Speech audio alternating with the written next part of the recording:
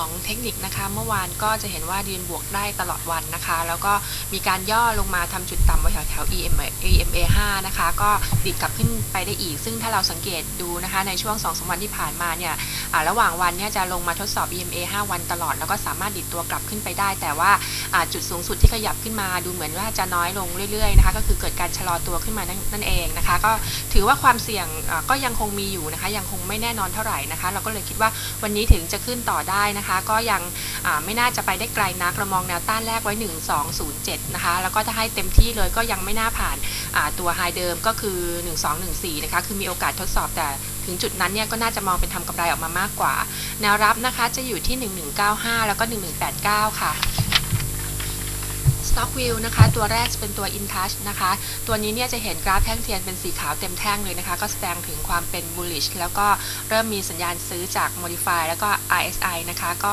คาดว่าจะมีโอกาสทดสอบ High เดิมนะคะ มีแนวต้านประมาณ 58 แล้วก็ถัดไป 60 นะคะ แนวรับจะอยู่ที่ 55 บาท 75 สตางค์ แล้วก็คัดลอสที่ 55 ค่ะ ถัดมาจะเป็นตัว CPF นะคะ ตัวนี้เราก็เชียร์ต่อเนื่องเลยนะคะ เพราะว่าสามารถทำจุดสูงสุดใหม่ได้แล้ว แล้วก็วอลุ่มก็ยัง support อีกด้วยนะคะ ก็แนวโน้มเป็นขาขึ้นชัดเจนนะคะ CPF ก็จะมีแนวรับ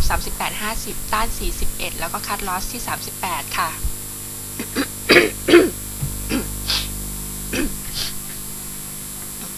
ถัดมาจะเป็นตัว BGH นะคะ ก็ขึ้นมา ปิดเหนือเส้นค่าเฉลี่ย EMA ได้ทุกเส้นนะคะ ประกอบกับ Modify เนี่ยให้ค่าบวกนะคะ ปรับตัวขึ้น แล้วก็ MACD เนี่ยนะคะ ก็ปิดเหนือ Zero Line ได้นะคะ แนวโน้มก็น่าจะสามารถขึ้นต่อ BCH มีแนวรับอยู่ที่87 บาท 75 สตางค์นะคะ ต้านประมาณ 92 บาทสลึงถึง 93 บาท 50 แล้วก็คัดลอสที่ 86 50 ค่ะ